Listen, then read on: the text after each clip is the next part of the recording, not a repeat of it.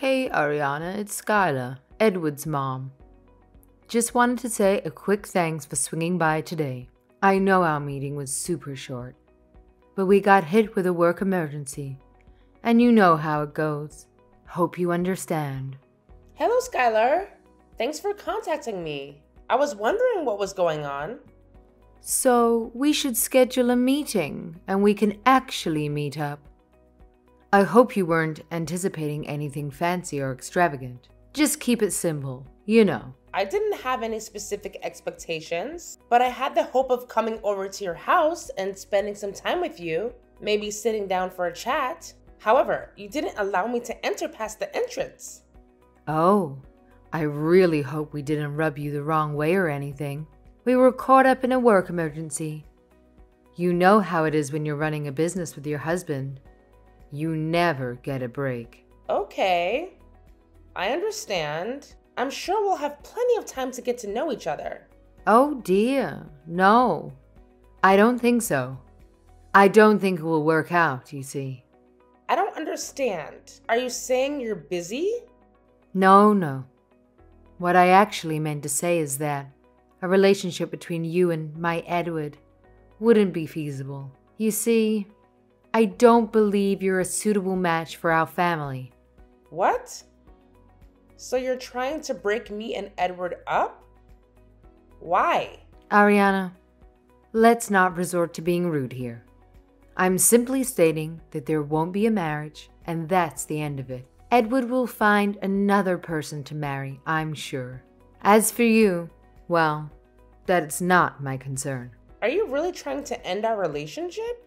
What have I done to make you dislike me this much? We hardly even have a chance to speak for even just a few minutes. You wouldn't even allow me inside.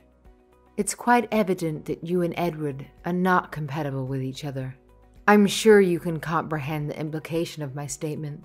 Not at all, actually. First, I go to my fiance's house to meet the family, and they won't even let me in the house. Then, my fiance's mother tries to break off my engagement? What is going on? The hell if I know. Hey, language, Ariana. You're a lady or so I've been told. Please try to keep that in mind, even though your appearance might not exactly reflect it. I mean, just look at your short hair with that yellow and green dye. I don't see you as a suitable match for Edward. I mean, imagine you as his wife and the mother of his children. Ha! Huh. I don't understand the problem. I'm an independent woman. I do charity work, have many good friends, and am well liked. My parents aren't rich, but they are very decent people and well respected in the community. I don't understand why I'm being treated this way. Maybe you should take a good long look in the mirror and you'll see why. The mirror? You know, when Edward mentions that he was bringing his fiancée around, my mind immediately went to grandkids. It's just a thing that pops up when you reach my age, you know? My Edward is such a good looking guy, and I can only imagine how adorable his future kids will be. But I've got to be honest. It's a bit challenging to picture what unfortunate grandbabies would look like if this union were to happen. I can't keep talking like this. I need to talk to Edward. This is getting out of hand. I thought I'd be generous enough to extend my gratitude for your visit today and I must say it was a pleasure to meet you. However, let's get real here. Things are not gonna work out between you and my precious son. Just being honest with you here.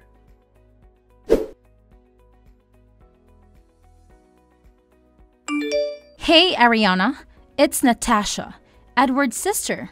Just wanted to say sorry about that awkward conversation you had with mom. Hi, Natasha. Thank you for getting in touch with me. I'm so confused. Do you know what's going on? Oh, yeah, that's why I contacted you. Let me clear up a few things. Please. None of this makes sense. Getting rejected at the door? Edward's not texting me back or answering my calls. I don't know what I could have done to make your mother object to my marrying Edward. So, she didn't tell you? She kept saying something about grandkids and looking in the mirror. It really didn't make sense. Yes, sorry about that. My mom's always been that way. She's too polite for her own good. All right, here it comes the truth. The fact is, you, Ariana, are far too ugly. Get real, pig. How did you think you were going to marry Edward with that face? What? You're kidding, right? I don't even know what to say. You're not the one that's gotta be kidding trying to marry anybody with that face. And you know, it's just basic decency to at least try to make yourself look half decent. You're barely wearing any makeup. Did you even check the mirror before leaving your house today? Of course. I chose more natural makeup because I was meeting my future parents in law. Or so I thought. I didn't want to cake on makeup and give them a bad impression. Natural makeup only works in naturally good looking people. If you look like you were drop on your face as a baby, you've got to cake that crap on. I think I looked fine. I even got my sister to help me pick out my outfit. This is not something you can change like your outfit. It's about the raw material. I'm just telling you why you're not a good fit for our family. We don't want your fat, ugly DNA to get mixed up with our beautiful genes. It just can happen. Uh huh. So I'm too ugly to be in your family. Exactly. More importantly, it's to protect the children. It would be so tragic if they turned out looking like you. Can you see everything wrong with your face? Look at those eyes, they are so far apart. They look like you got punched in the face and they flew apart. Um, my eyes are fine. Are you kidding me? Your eyebrows are so bushy. Have you ever tweezed them? It's just the natural style. Don't talk about style, Ariana. Uggos need to learn, not preach. Like I said, the natural look is not for you. And that nose? Oh my god! I've never seen a bigger nose in my entire life. See, makeup can fix that. And even if you can get a rhinoplasty, imagine the kids. They're going to be teased their whole lives. People aren't that cruel, Natasha. I mean, usually. I don't think I've ever received such harsh criticisms about my looks. So I'm the only one who's ever been truthful to you. You should be grateful. Speaking of bad DNA, what's going on with your skin? I don't care what race you are, but ugly is not okay. You're white, but you're not? You're dark, but you have freckles? Seriously? Your face is an unfortunate mix of hideous DNA just mushed together. All right. I've had about enough. You and your mother have made your opinion pretty clear, but I haven't even heard from Edward. Oh, I hope I didn't give you the wrong impression. It's not just my mom and me. Everyone in our family unanimously agreed that you were definitely too ugly to marry Edward. What? You're your dad and your sister too? Oh, yeah? My sister laughed until she cried a little after you left. She said you look like the witch from Hansel and Gretel. It was just a book we had as kids. You actually really do look like her, though. I suppose your father had a good laugh at my expense as well. Oh no, he was so angry. He yelled at Edward that he didn't want to be surrounded by freak show kids, and if he wanted to get married to you, he had to promise never to reproduce. Oh my god. How can he say something like that? I can't believe he'd call his fictional grandkids freaks. We're just a family of realists, okay, Ariana? You need to get over Edward and move on. One thing you might not know, but Edward is the bad boy of our family, you know? Always cooking up ridiculous schemes. Apparently, he thought he could just coast through life if he married a rich woman. He thought it would be funny to have an ugly sugar mama paying for his every need. So he was with me for my money? I mean, why else? As soon as the family started talking to him out of it, he agreed it wasn't worth it. Money and status is all fine and good, but having to look at the face every day, that's torture. I can't believe it. So he was faking it the whole time. He never loved me? Who could love a face like yours? You really need to take better care of yourself. Maybe learn how to use makeup or splurge on the rhinoplasty I mentioned earlier. At least learn to choose your lipstick color, right? It was hideous on you. You're born uglier, right? Then do what you can do about it. Learn contouring, know how to highlight. There's amazing tutorials online now. You don't have to look like that. Some people choose to put a lot of effort in their looks and makeup. That's fine. But I feel comfortable just wearing a little bit when I go out. I'll get a little more adventurous with darker colors and eyeliners when I'm going out at night, But in general, I think I look fine like this. You don't look fine. Hi. I guess I'm just triggered by low lives who don't make any effort to improve themselves. Low lives? Now I'm a low life because I don't subscribe to your worldview? I have feelings, you know. I don't deserve to be treated like this. Wrong again, Ariana. Ugly people are scum. They don't deserve anything but a wake up call. They are a menace to society. I'm going to call it visual pollution. They're harming others' sight when they see you. I can't even. I'm just shocked there are people like you in this world. A lot of people feel how I do. You have inferior DNA. If you were up to me, I'd have your tubes tied. Natasha, that's enough. I understand how you feel. I also understand that there is no way that Edward and I are getting back together. I'm glad I found out he was using me for my money before we got married.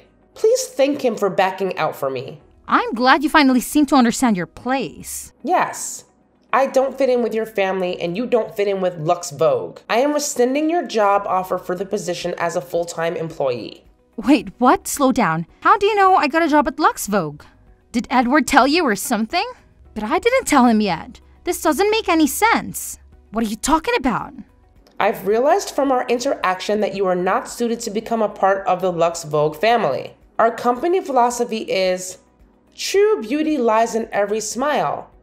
Light up your face with confidence. I don't think ugly people are worthless and need a wake up call has the same message.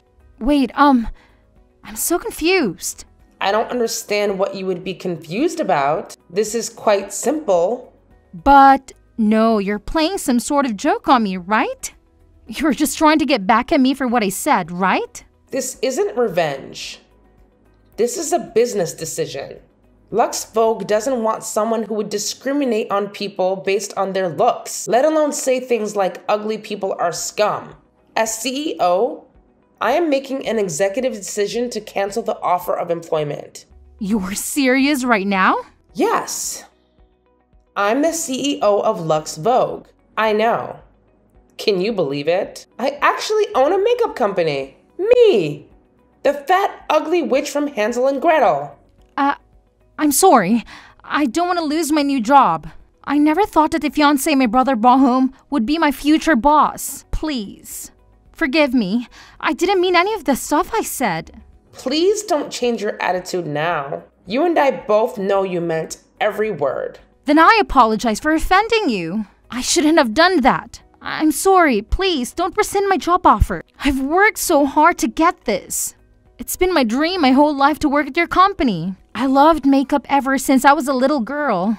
I couldn't believe it when I got the internship at your company last year. I've been working really hard and learning a lot. I know. My employees speak very highly of you. They say you're a hard worker and always punctual and polite. You really seem to enjoy your time on the job. In fact, when I asked the employees who I should hire out of our interns this year, your name was the first to come up. Really? I'm so honored. I love every minute of working there. I'm really looking forward to being a full time employee after I finish school. I'm afraid that's no longer possible. I've seen your true colors, and I didn't like what I saw. Ariana, please. I'm a good worker. You said so yourself. You can check with the people I work with. I would be a model employee if you hired me as planned. You're very good at trying to manipulate people. But it's too late with me. You'll be receiving a written notification of rescinding of the job offer within a few business days. No, there's gotta be some way I can fix this. I know, I'll help you marry my brother. I'll convince my family to let you marry Edward. Oh, you think you could do that? I know I can. Just give me a few days. I'll make sure Edward takes you back, so please hire me. I need to work at Lux Vogue. Your family belittled and rejected me just for how I look. I've never been so offended in my life. I didn't even know your brother just wanted a sugar mama to leech off of until you told me. I learned a lot about myself today. First of all, I have horrible taste in men. I really need to rethink what I saw in Edward before dating again. Wait, what? But you're getting back with him, right? He'll marry you, I promise. I don't know what makes you so confident about this. It's kind of creepy. but I definitely don't want a user leech in my life. I won't be needing your matchmaking services. But I need that job. It's been my dream all my life to work in cosmetics. I love making people beautiful. The smiles I get for doing people's makeup are the best. I would live in a Lux Vogue store if I could. I know you love our products, Natasha. I also know you have incredible passion, have a lot of raw talent. As I said, I'm not doubting that. The issue is more of an ideological difference. We're not kidding when we say every person is beautiful. They really are, Natasha. Our products enhance people's natural beauty, but it's not meant to alter someone's face to attain some unrealistic current beauty standard. You literally said ugly people are worthless and that I should tie my tubes. I I'm sorry. I don't know why I said such a horrible thing. I apologize. I would never have said anything like that if I knew you were the CEO of Lux Vogue. I just thought you were some random woman Edward brought home. You really don't get it, do you? It's not about who I am. That's reprehensible. The way you talk down to a fellow human being like that? I can't believe that people like you exist in this day and age. Do you feel better about yourself when you put others down? Um, no, I don't think so some movements speaking up against body shaming and Photoshop creating unrealistic beauty standards. So we're making some progress. But people like you still tear down those around you and lower people's self esteem as if it were some sort of joke. I. I never thought of it that way. I just like makeup. It's one thing to use makeup to feel confident in your skin, and that helps you put your best foot forward with whatever you're doing. Your love of makeup has morphed into a disgusting hierarchy of beauty you've created for yourself. I can change. Please, just give me a chance. I just need to prove myself. Please, Ariana, I'm begging you. I'm not saying you can't change, Natasha. I would never tell anyone that. But as for your job offer, that's gone for good. Since Edward and I aren't engaged anymore, we're not going to be family. And since you won't be working at my company, you won't be my employee either. Let's just go our separate ways and learn from our mistakes and move on. Wait, let's talk about this. I'm sure we can work something out. No. Ariana, please listen to me. We're done. Please stop texting me. I need a job, please. You're going to ruin my life. I'm sorry, but I can't keep responding. Goodbye, Natasha. Ariana? Ariana!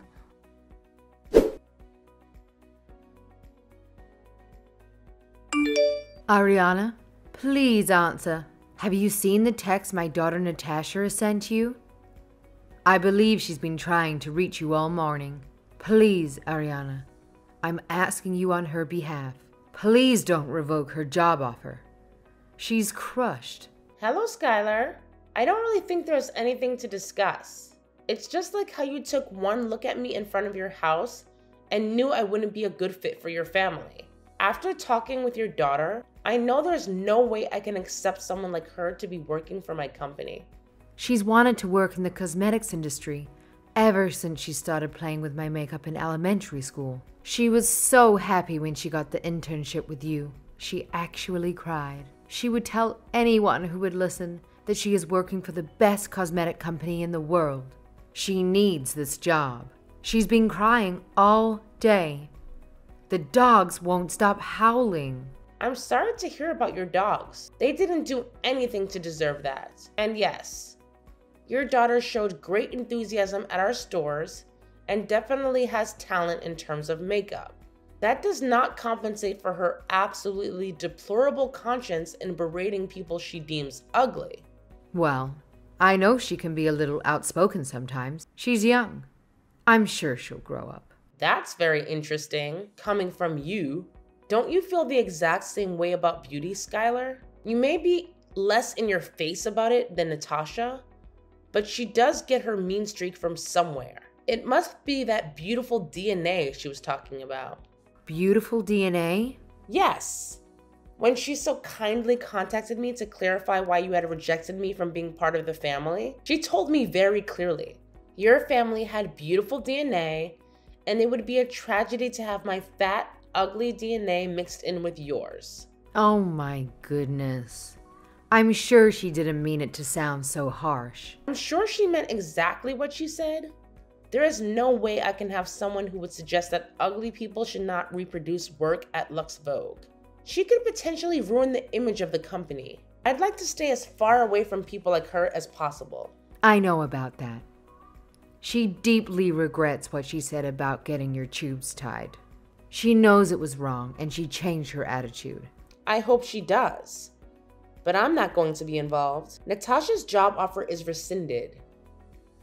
That's final. So that's how you're going to be? You incessant cow of a woman. You think you can get away with treating people like that just because you're a CEO? There are laws put in place to protect employees from this kind of abuse. Abuse? I see you've decided to cut out the polite Madame Act. All right, let's hear it. Your company made an official job offer. The terms of the contract were clear, and she is to start in September. Uh huh. And now it's canceled. You can't just cancel an agreement because you don't like someone. Grow up. So, Natasha called you ugly. Take a look in the mirror. Did she lie? No. So you'd better hire her as planned and let her start without any issues in September. Or we're going to sue. Oh, well, I don't want to get sued. That's right. CEOs aren't gods, you know. You have to have a justifiable reason to terminate a contract. I'm not a dummy. You're not going to get away with this. I know my rights. Skylar, I've got to say you're making a lot more sense than the last time we talked. Straight to the point. I like it. And yes, everybody has rights. I'm well aware of that. But I won't be having any trouble with rescinding Natasha's job offer though, since she has broken her requirement from starting. What stupid excuse are you going to come up with now? You should spend more time learning to use your own company's products instead of harassing young adults. A four year university degree is a prerequisite to the job. If she can't show her diploma, she can't join our company. What? Natasha's graduating in June. She's a senior. Actually, she doesn't have enough credits to graduate this year. This can't be happening. Tell me this isn't happening. She's going to have to go to university for another year? Yes. She'll have to go for another year if she wants to graduate. But how could this happen? She's been getting good grades. She showed me. You should probably ask her yourself about this. But I was told she skipped out on her final exams and disappeared. She missed her finals? She must have been sick. I'll talk to the school. I don't think she was sick. I was informed by the school. She missed every exam. There's no way she can graduate. What? But what about Natasha's plans? Why would she do this? I don't know the details, and the school didn't seem to understand why a student would do this. She disappeared without telling the school. They almost filed a missing persons report. Why was I not informed? Everything is ruined. You did this to us. You're just fighting us because I wouldn't let you marry Edward, right? You can marry him. I accept. I think you would be a lovely match for him. What are you saying? Like mother, like daughter, I guess. You can fudge the paperwork. You're the CEO, right? You'll marry Edward. Natasha will work at your company. It's perfect. I'm honestly kind of scared of your family. How can you just decide who Edward marries? Natasha said she can make him marry me, which is a little alarming. We're just being cooperative. This can still work out. No, it can't. I won't be with some loser who plans to laze around and mooch off his wife. As for your daughter, I thank her for her interest in Lux Vogue, but wish her the best of luck. We won't be hiring her. Please inform her that her application will not be welcome next year, even if she does complete her BA. Do not contact me directly or through my company. Goodbye, Skylar.